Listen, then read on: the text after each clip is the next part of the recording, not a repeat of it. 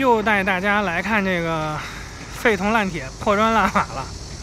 然后我现在这个位置啊，保利首开欢乐大都会，它这个商圈啊，其实咱们看到这个商圈属于配套。这边啊，保利首开四季怡园，它后面其实有好几栋楼，那些小区的入住率还可以，但是说实话，北京的商业普遍不行，一直这个样子。然后咱们今天来这儿的目的呢，这个商圈里有一个家特别有名的烤串的店啊，叫石门营大串。这家店非常了不起，回头咱们再去看啊，咱先溜达溜达。你看这个夏天，对吧？一般而言，物业还是想搞一搞，但其实效果也不太好。确实是商圈没什么人。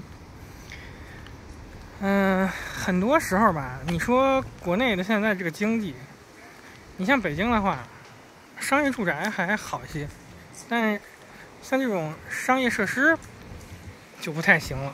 住宅在北京怎么都还可以，但商业设施真不行。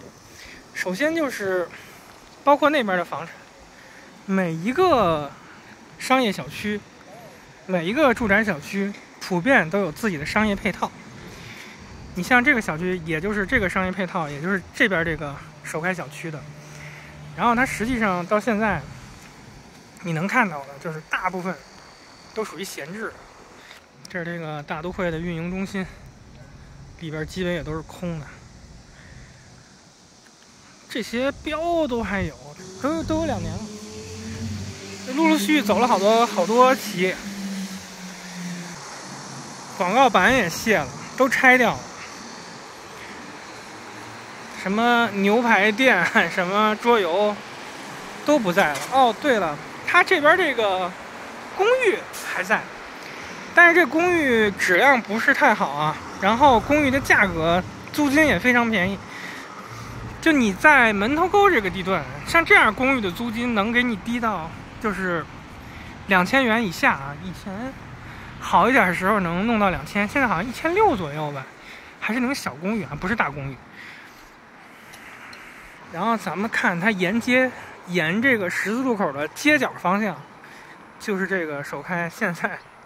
唯一就是说生意比较好的地方，然后你看它运营中心其实也是关门了，就只是这一片，这个这这条街和那一条街生意比较好，然后里面基本也就是不太行。然后这块儿吧，说实话，除了我刚才说那个石门和大串值得一来，还有一家兰州老马食府。你看这个 logo 吧。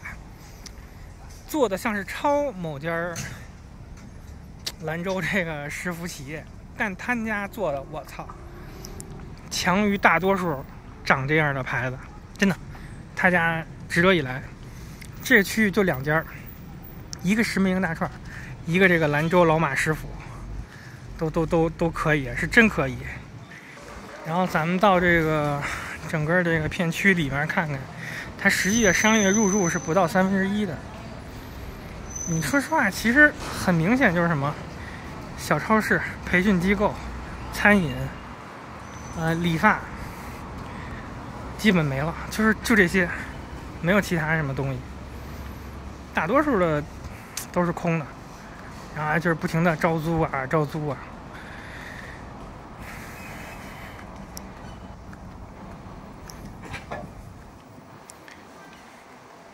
然后有朋友跟我聊了一下，就说中年人现在面临着很多问题啊，也有很多人有，因为毕竟是有些中年人他岁数在那儿，兜里兜里是有点钱的，也有想创业的。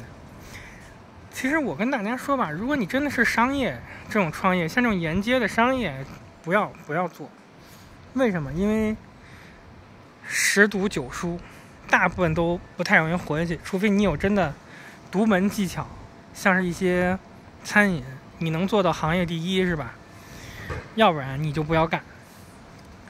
你看我，我在这个商圈，其实在北京而言还是相对好的地方呢。之所以这样，也就是因为北京几乎所有的这种稍微大一点的小区，它都有配套的商圈，导致商圈临近的比较多，就导致了每个商圈都多多少少或多或少的有空置。这就是一个问题的之中的重中之重啊。另外一个方面，我也不希望就是咱中年人没工作了啊，投资干点啥吧，就是千万不要这么想。就是这个时代啊，需要你把钱握好，省着点花，对吧？嗯，可能比你投钱去买一些东西，不管是买股票还是说去投资一些小的企业，我觉得都要比那个强。就是你什么都不干就已经躺赢了。再有一个，说到底，你看现在年轻人也是找不着工作，咱手里有钱，多少能扛一阵儿，对吧？你多多少少能扛一阵儿，你能扛个三年、五年、十年，对吧？我个人认为啊，五年、十年、十五年到头了，就经济再差，也就是五年、十年。咱这个经济总量是日本的好几倍，你看日本也就是三十年嘛，咱，对吧？日本差不多咱们的几分之一嘛，我感觉有个十年应该能够，啊，当然，另外一个，我之前也说了，有条件的是吧？看看有没有在国外有没有机会啊，这个也是一一点挺重要的，因为从我个人角度讲，我也在学习外语，我一天两节课。晚上上课，我也在找一些机会啊。就是很多时候，你像国内这个经济，在整个的国际的形势、国际经济形势都下滑的情况下，其实你说欧美，欧美也是刚刚开始往下走，对吧？其实哪儿都好不了太多。但是国内卷的实在是太厉害了，相对来说竞争多一些。然后你看欧美那些国家现在玩的什么？不就是贸易保护主义嘛，对吧？嗯，加关税啊啥的。无非是为了避免他们人的失业嘛，但咱们这边因为产能过剩嘛，都卷出来了，所以属于无路可走。欧美人可以通过加关税来保护自己，那咱们这边因为本身就是生产方嘛，对吧？就只能往死了卷，无路可走。这个是我所看到的一个很重要的一点，就是基于这些原因，所以我还是建议，就稍微有点钱的中产可以考虑考虑。你总不能。在国内天天看的都是这些东西吧？恐怕这些东西也不光北京有吧，是吧？还是能有国外发展的机会，可以考虑一下啊。嗯，当然了，语言这还是得先掌握啊，因为因为是这样，有不少的中产，说实话兜里是有点钱的。我不想让你们乱花钱，或者说像我这样，我没乱花钱，我也省着。然后我这些钱，一个是学习用。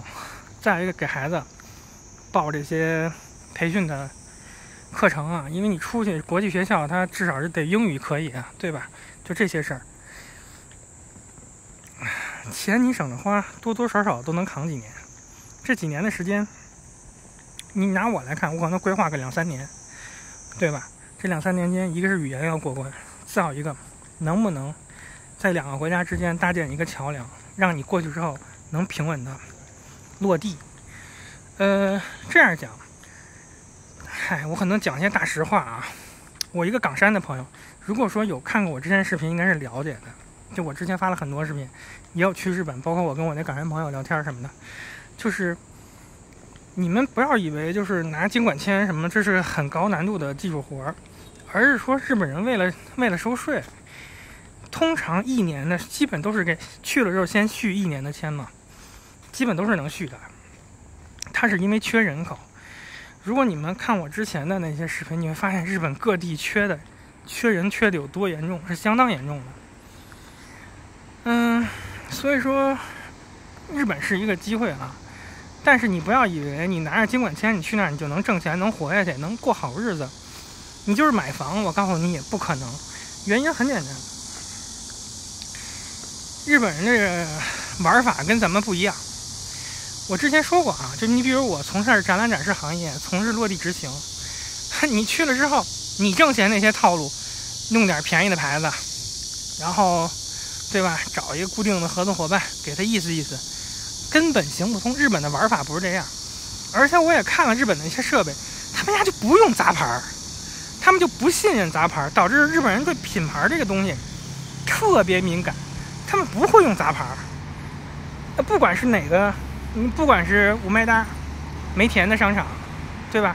你或者说你去，呃，其他商圈儿，啊，包括神户，他们不用杂牌，就是像咱们国内那些什么杂牌的 LED 啊，人家都不用，全用品牌的，对吧？你最起码也得是什么，呃，什么稍微好一点的牌子。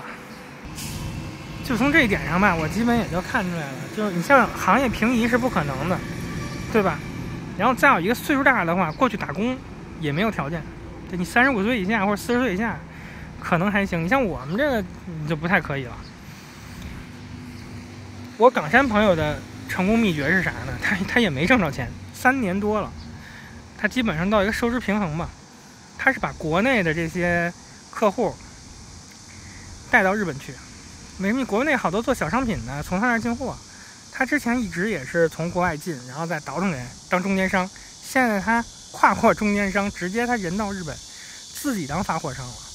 哎，他走的这条路，做什么呢？就小商品，化妆品啊、食品啊，就这些小商品。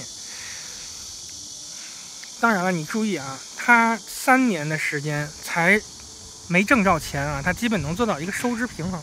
三年啊，哇塞！三年的话，它实际上成本投入将近七十到八十万，七十到八十万啊，就是说这七十八万是扔了的，因为这一年，你像港深那生活成本一年也得十几万，一年十几万，他他孩子还没上国际学校呢，一年就十几万，但是你去日本那边，孩子教育啥你也不用担心，人家全给你包了，这也是真的，反正比咱们这边要好，所以中年的朋友。还是我以前说那几句嘛，省得花钱，在国外找找机会，啊，相对这些容易点。没钱的，咱能卷咱就卷。那个什么吉祥三宝，保安、保洁，对吧？岁数大的，保安、保洁、保姆。然后有力气的那三跑呗，跑滴滴、跑外卖，是？跑快递，对不对？就是现在的你们，大家真的遇到，就现在生存环境。是特别严峻的，就是你像我这种人，不知道为什么，我对这玩意儿的预感就特别明明显，就我总觉得不太妙，所以我其实我开始准备也已经有一阵儿了。行吧，我就聊这么些吧。中年的朋友们要是能看到的话，还是给自己多做打算啊，确实是这样。国内的话，也许它很快就会好起来啊，但是咱们一定要做好不太行的准备。的话。实名人大串还招人呢，就是如果你真的是有这种扛把子的基因啊，真的是东西做的不错，是能活下去的。他们家这个烤串儿做的还是不错的。你像这个羊串，其实咱们说是烤的，但是之前有朋友跟我说过啊，你像他这种羊串和烤鸡翅什么的，应该都是烧的。他说烤的样子不会是这个样子，可能是拿那种喷火的喷枪，对吧？喷出来的。这个东西咱也不懂啊，但是它这个东西做完之后，味道什么的感觉还是不错的。另外一个就是它这个串儿吧，糊的地方比较少，有可能是用剪子已经剪掉了。嗯，再有就是他家的烤包子真的是一绝。你可以看一眼，他家烤包子特别香，但注意他家包子是猪肉包啊，猪肉包子，他家并不是清真店。有机会吧，这个石梅营大串大串，各位有机会可以来尝一尝。